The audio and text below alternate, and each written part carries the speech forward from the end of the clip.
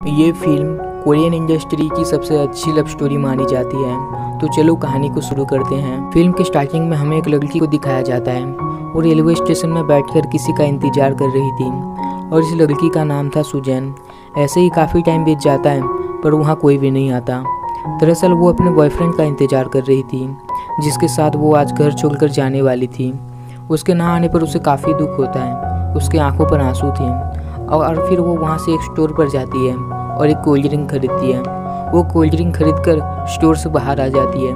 तभी उसे रास्ते में याद आता है कि उसने कोल्ड ड्रिंक तो खरीदी थी, पर लाना भूल गई है।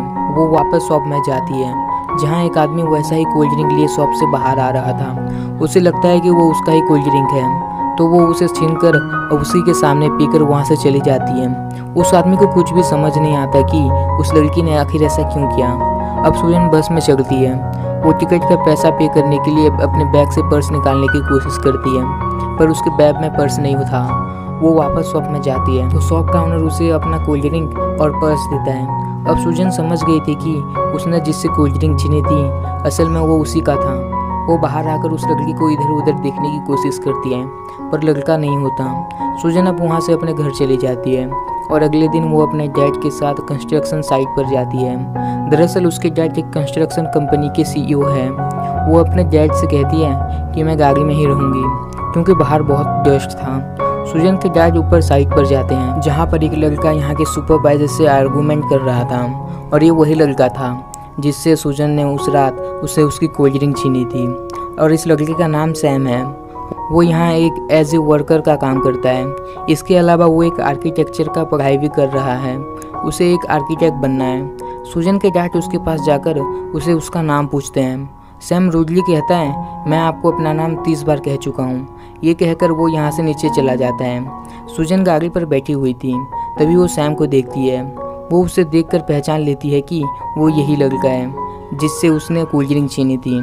पर वो उसके पास नहीं जाती। दूसरे सीन में हम देखते हैं सुजन अपने जॉब पर आई हुई थी। वो एक फ़ैशन डिज़ाइनर है और उनके ऑफ़िस में रिनोवेशन का काम चल रहा था, पर उनके रिनोवेशन का काम बहुत ही लेट चल रहा है। सुजन अपने डैड को कॉल करती है तो वो एक आदमी को भेजते हैं और ये सैम था। सुजन उसे देखती है पर सैम उसके तरफ़ एक बार भी नहीं देखता। शायद वो उसके बारे में भूल गया था। सुजन वहाँ से कोल्ड ड्रिंक पीने के लिए जाती है। कोल्ड ड्रिंक मशीन में वो एक सिक्का डालती है।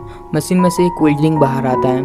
तभी सैम वहाँ आता है और उस कोल्ड ड्रिंक को उठा लेता है और उसी अंदाज में उसी के सामने पी जाता है। सैम कोल्ड ड्रिंक पीने के बाद बिना कुछ कहीं वहाँ से चला जाता है। सुजन ये देख जरा सा स्माइल करती है। थोड़ी देर बाद वहाँ से वो बाहर आ जाती है। तभी वहाँ पर एक चोर आता है। और सुजन का बैग लेकर वहाँ से भागने लगता है। आगे गाड़ी में बैठकर सैम ये सब देख रहा था। चोर जैसे ही उसके गाड़ी के पास होकर गुजरता है तो सैम अपने गाड़ी का दरवाज़ा खोल देता है, जिससे कि वो चोर वहीं पर गिर जाता है। वो उससे उसका बैग लेता है और सुजन को वापस कर देता है। वो उसे लिफ्ट भी देता है। जाते वक्त सुजन उससे कहती है आई एम सॉरी उस रात के लिए मैंने तुम्हारी कोल्ड ड्रिंक छीनी थी। पर सैम उसका कोई भी बात का जवाब नहीं देता। वो उसे घर ड्रॉप कर देता है। अब सुजन उससे इम्प्रेस हो गई थी। अगले दिन सुजन उससे मिलने के लिए उसके साइट पर जाती है, पर सैम यहाँ नहीं होता।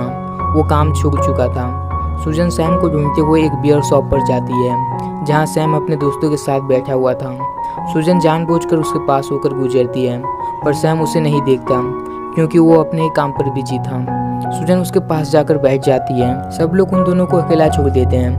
सुजन सैम को प्रपोज करती है और कहती है, क्या हम साथ रह सकते हैं? तो सैम एक गिलास में शराब भर देता है और उसे कहता है, अगर तुम इसे पूरा पी जाओगी तो हम हमेशा साथ रहेंगे।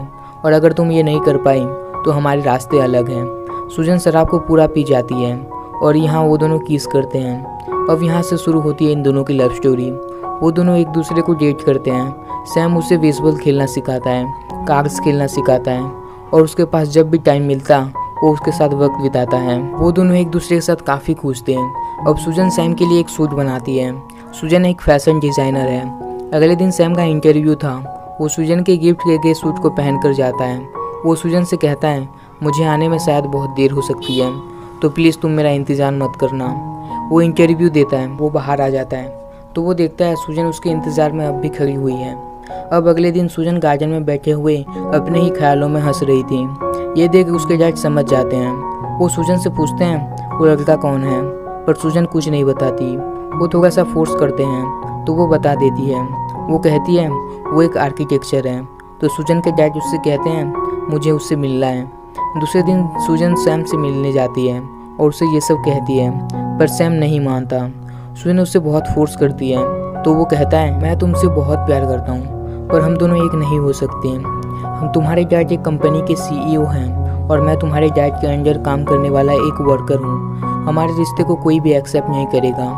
एक दिन सैम और सूजन एक रेस्टोरेंट में बैठे हुए थे।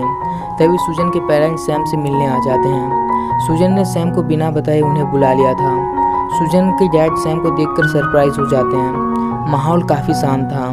सूजन वहाँ से वॉशरूम चली जाती है। सूजन को डैड सैम से कहते हैं तुम्हारी हिम्मत कैसी हुई? मेरी बेटी से प्यार करने की। वो उसे काम से भी निकाल देते हैं। वहीं दूसरी तरफ़ हम सूजन को देखते हैं। उसकी तबीयत बहुत ख़राब हो गई थी। उसे पता भी नहीं चलता और वो बाहर आ जाती है। बाहर बहुत बारिश हो रही थी और अचानक से वहाँ पर भीग लग जाती है। सैम भी अंदर जाकर देखता है तो वहाँ सूजन बेहोश पड़ी थी। वो काफ़ी घबरा जाता है और सूजन को ऐसे ही उठाकर हॉस्पिटल ले जाता है। हॉस्पिटल में डॉक्टर कहते हैं, ये ज़्यादा स्ट्रेस की वजह से है। अगर वो ठीक से सोएगी तो ठीक हो जाएगी। सुजन जैसे ही होश में आती है तो वो सबसे पहले सैम को गले लगती है। दूसरी तरफ़ सुजन के डैड ये सब दूर से देख रहे थे। वो समझ जाते हैं कि ये दोनों एक दूसरे से बहुत प्यार करते हैं। अब कुछ दिनों का बाद का सीन दिखाया जाता है, और आज उन दोनों की शादी हो रही थी। वो दोनों अपनी ज़िंदगी में काफ़ी खुश थे। शादी के बाद सैम को अपने आर्किटेक्चर का डिग्री भी मिल जाता है। वो अपने काम में बहुत ही माहिर था। वहीं पर घर में सुजन खाना बनाते हुए गैस बंद करना भूल जाती है तो सैम उसे बंद कर देता कुछ है। दिनों के बाद सैम को घर का कॉन्ट्रैक्ट मिलता है। ये सुन सुजन बहुत खुश हो जाती है। इनके ज़िंदगी में सब कुछ सही चल रहा था। एक दिन सुजन अपने फ्रेंड से पूछती है क्या तुमने कभी घर जाते वक्त अपने घर का रास्ता भूल गई हो? ये सुनकर वो सब हँसते हैं। वो कहते हैं हमारे साथ तो ऐसा कभी नहीं हुआ। शायद तुम्हारे शादी के बाद ज़्यादा काम की वजह से तुम्हारे साथ ऐसा हुआ होगा। थोड़ी देर बाद सूजन वहाँ से अपने घर चली आती है। वो अपने घर को ढूंढ रही थी। वो अपने घर के पास आ जाती है। पर सुजन कंफर्म नहीं थी कि यही उसका घर है। सुजन की लगाकर घर को खोलने लगती है। घर में जब वो सैम को देखती है तो उसे कंफर्म होता है कि यही उसका घर दरअसल सुजन की याददाश्त में कुछ प्रॉब्लम हो गई थी तो वो अगले दिन डॉक्टर के पास जाती है। डॉक्टर उससे कुछ सवाल करते हैं। वो कहते हैं कि हाल ही में कुछ ऐसा हुआ कि तुम बेहोश हो गई हो। सुजन कहती है हाँ पर डॉक्टर ने कहा था कि स्ट्रेस की वजह से है। अगर मैं ठीक से सोऊँगी तो ठीक हो जाऊँगी। और मैं ठीक भी हो गई थी। डॉक्टर कहते हैं, तुम अगले हफ़्ते आना। सुजन वहाँ से घर चली जाती है। पर इसके बारे में सैम से कुछ भी नहीं कहती। सैम एक दिन सुजन को एक बूढ़े आदमी से मिलाता है। और इन्होंने ही उसे बचपन से पाला और कारपेंटर का काम भी सिखाया। वो आदमी बातों ही बातों में सुजन को कहता है, सैम की मोम ज़िंदा है। पर सैम उन्हें पसंद नहीं करता। सुजन घर आने के बाद सैम से कहती है, तुम्हारी मोम ज़िंदा है तो तुमने इस बारे में मुझे क्यों नहीं बताया? सैम बहुत गुस्सा हो जाता है और कहता है, वो मेरी मोम नहीं है। उन्होंने मुझे बचपन में छोड़ दिया था उस बूढ़े आदमी के पास और वो मुझे कभी मिलने भी नहीं आई। सुजन कहती है, कुछ भी हो, पर वो तुम्हारी मोम है। तुम्हें उन्हें माफ़ कर देना चाहिए। सैम गुस्सा होकर एक कांच के गिलास को तोड़ देता है, जिससे कि उसके हाथ में चोट आ जाती है। सुजन ये देख बहुत रोती है और उसे रोते हुए गले लगाती है। अगले दिन सैम अपने मोम से मिलने जाता है। वो जेल में थी, क्योंकि उन्होंने किसी से उधार ली हुई थी। पर लौटा नहीं पाई। वो सैम से कहती है, तुम जब पेट में थे, तब मैं सिर्फ़ सत्रह साल की थी और तुम्हारे डैड छोड़कर चले गए थे। मैं चाहती तो ऑपरेशन करा सकती थी, पर मैंने ऐसा नहीं किया। मैंने तुम्हें इस दुनिया में लाया। सैम उन लोगों के पास जाता है, जिनसे उनकी मोम ने पैसा ली हुई थी। वो उन्हें पैसा वापस कर देता है। सुजन ये जानकर बहुत खुश हो जाती है। अगले दिन सुजन डॉक्टर के पास जाती है। डॉक्टर ने उसे एक हफ़्ते के बाद आने के लिए कहा था, पर वो दो हफ़्ते के बाद गई थी। डॉक्टर उसे कुछ आसान सा क्वेश्चन पूछते हैं, जैसे कि तुम्हारी सिस्टर की एज क्या है, उसका डेट ऑफ़ बर्थ क्या है, और जब वो हम रास्ते में जाते हैं, तब कौन से लाइट आने पर रुक जाते हैं? सुजन एक भी सवालों का जवाब नहीं दे पाती। डॉक्टर उसका टेस्ट करते हैं और उसे घर भेज देते हैं। अगले सीन में देखते हैं, सुजन अपने ऑफ़िस आई हुई है। वो देखती है कि उसका एक्स बॉयफ्रेंड वहाँ फिर से आ चुका है, जिसे कभी सुजन प्यार करती थी। वो आदमी सुजन से कहता है, मैं तुमसे अब भी प्यार करता हूँ। मैं अपने वाइफ को भी डाइवोर्स दे चुका हूँ। दरअसल ये आदमी शादीशुदा था। वो सुजन को फिर से रिलेशन में आने के लिए मनाने की कोशिश करता है, पर सुजन उसे साफ़ कह देती है कि, मैं तुमसे प्यार नहीं करती और मैं शादीशुदा हूँ। मैं अपने हस्बैंड से बहुत प्यार करती हूँ और उनके बिना जी नहीं सकती। सुजन वहाँ से अपने घर चली आती है। वो अपने किसी फ़ोटो पर ग्लू लगाई रही थी। फिर उसे कुछ याद आता है तो वो फ्रिज खोलती है। और फिर दरवाजे को भी। उसे कुछ याद नहीं था कि उसे आखिर ढूंढना क्या है। वो वापस बैठ जाती है तो वो देखती है कि फ़ोटो पर ग्लू लगा हुआ है। वो सैम से कहती है, क्या तुमने ग्लू लगाई है? तो सैम कहता है, नहीं, अभी भी तो तुमने ग्लू लगाई हुई थी। सैम को कुछ ठीक नहीं लगता तो वो पूछता है कि डॉक्टर ने क्या कहा। सुजन उसका कुछ भी जवाब नहीं देती। सुजन अगले हफ़्ते फिर से डॉक्टर के पास जाती है। डॉक्टर उससे कहते हैं, तुम्हें अल्जाइमर की बीमारी है। सुजन कहती है, अल्जाइमर क्या होता है? डॉक्टर कहते हैं कि इस बीमारी में शरीर से पहले दिमाग मर जाता है। तुम धीरे धीरे सब कुछ भूलने लगोगी। अपने फैमिली को फ्रेंड्स को, यहाँ तक कि अपने आप को भी भूल जाओगी। अगर तुम कोई जॉब करती हो तो जल्दी से छोड़ दो। सुजन कहती है, मैं अभी बस सत्ताईस साल की हूँ। क्या इस बीमारी का कोई भी इलाज नहीं हो सकता? तो डॉक्टर कहते हैं, दवाई से इस बीमारी का रफ्तार धीमा कर सकते हैं, पर से ठीक नहीं कर सकते। सुजन ये सुन पूरी तरह से टूट जाती है। उसके आँखों में आँसू होते हैं। सुजन घर आ जाती है, पर सैम को इस बीमारी के बारे में कुछ भी नहीं बताती।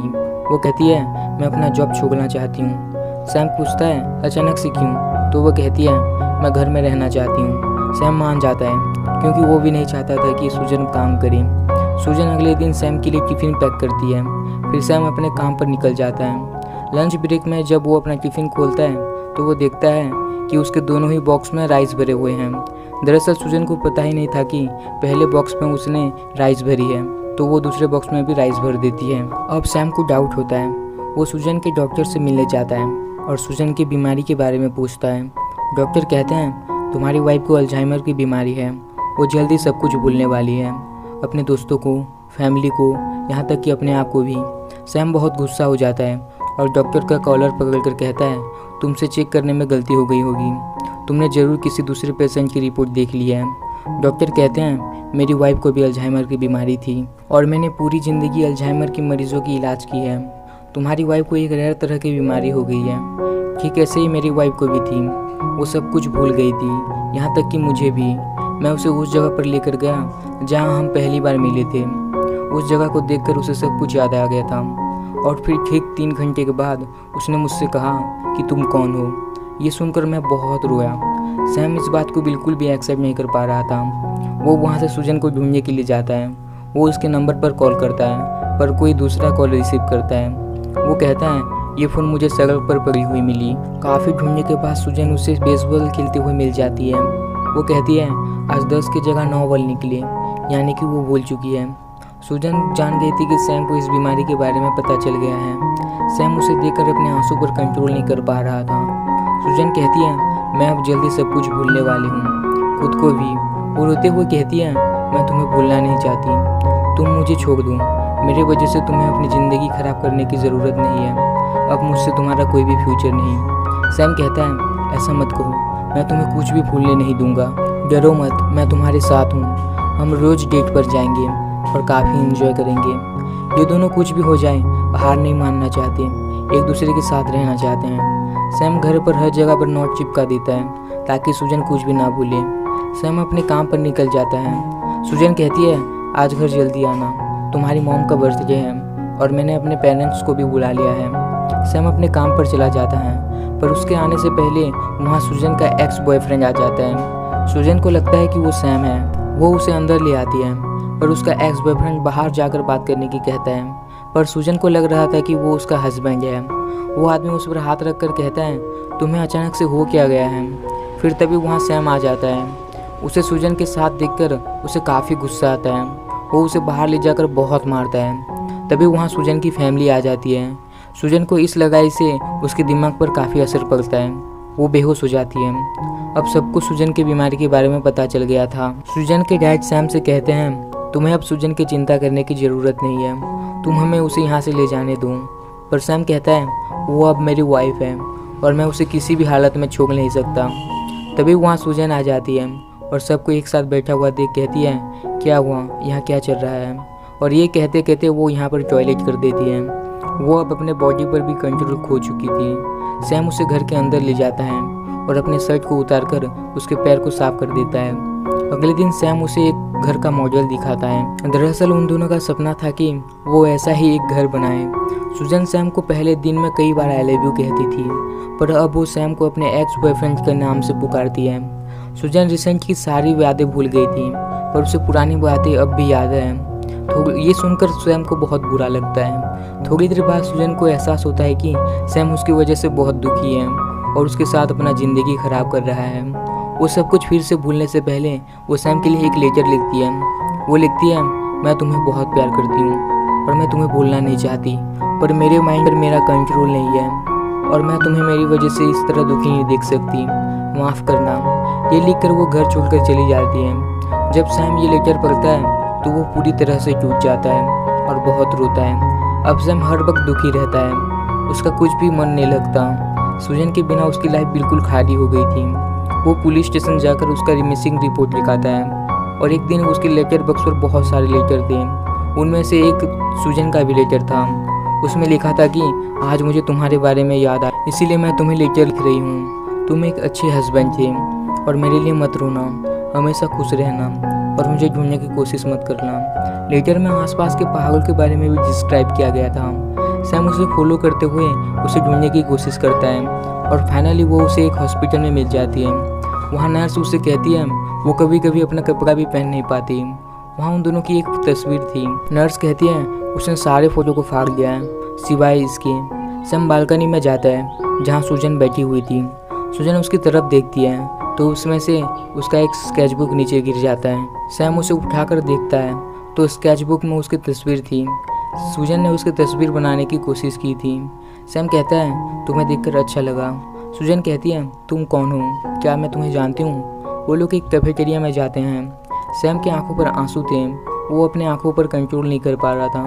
तो सुजन कहती है, तुम क्यों रो रही हो? तो वो अपने आँखों पर ग्लास लगा लेता है। अगले सीन में नर्स सुजन को उस जगह पर ले जाती है, जहाँ पर सैम और सुजन पहली बार मिले थे। वो जैसे ही स्टोर के दरवाजे के पास जाती है, तब सैम पहले की जैसे ही एक कोल्ड ड्रिंक लेकर बाहर आता है। सुजन स्टोर के अंदर जाती है। वहाँ उसकी पूरी फैमिली थी। वो ये देख सैम के पास जाकर कहती है, क्या ये स्वर्ग है? सुजन को अब कुछ बातें याद आ गई थी। ठीक वैसे ही जैसे ही डॉक्टर की वाइफ को आ गई थी। उसके बाद वो दोनों एक लंबी ड्राइव पर जाते हैं। यहाँ सैम सुजन से पहली बार आई लव यू कहता है। दरअसल सैम सुजन से प्यार तो करता था, पर कभी आई लव यू नहीं कहा था। और सुजन भी उसे गले लगा लेती है, पर उसे पता नहीं था कि सुजन की याद कब तक रहेगी, क्योंकि डॉक्टर की वाइफ को सब याद आ गया था। पर ठीक तीन घंटे के बाद वो सब कुछ भूल गई थी। उम्मीद करता हूँ कि आपको इस लव स्टोरी की एक्सप्लेनेशन अच्छी लगी होगी। जाने से पहले वीडियो को लाइक करना और चैनल को सब्सक्राइब करके बेल आइकन ऑल करना मत भूलना। Thank you for watching